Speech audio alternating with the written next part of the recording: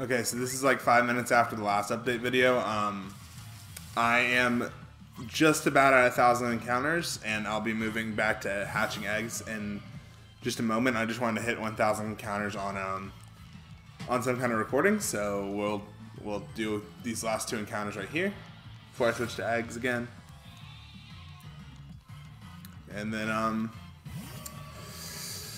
hopefully this won't take much longer, but um. I figured uh, a thousand on wild encounters is a good um, milestone point to make another update. Um, other than that, I've been. It's only been like five minutes since the last update video that I just posted it as I'm recording this. Um, but um, I wanted to hit. I want to hit like mile, like 100, 100 interval milestones um, on screen. So we're about to hit the 1,000 wild wild encounters, and I guess 1,001 too. Um, but maybe we'll get the shiny. That'd be cool.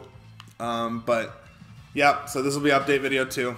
Um, sorry to spam your sub boxes, but like, if I get the shiny Wooloo, I want to. Um, so that's 1,000. And we'll come to the next one too. Um, I want to make sure all the all the stuff is on some kind of recorded document so that uh, everyone knows what what's going on. So we're about to hit our our 1,000 or we we just did hit our 1,000 encounters. So uh, and I'll also be I can decide that I'm gonna decide uh, which Wooloo I want to um used for breeding here, so.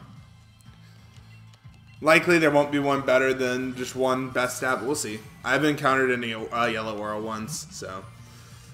Let me just catch this, and then we'll decide which um which one we want to use for breeding. Um, okay. I'll send that to the box. And then we will check out the breeding.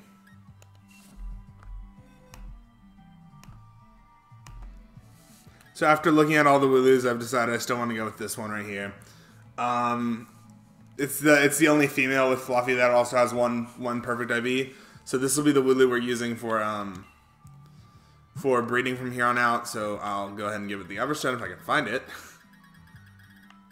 okay, let's find the Everstone, and then um this will be our new breeding Wooloo, I guess. So yeah, I'll see you guys in the next update video. Thanks for watching. Please uh, hit the like and subscribe button, and I'll see you guys next time.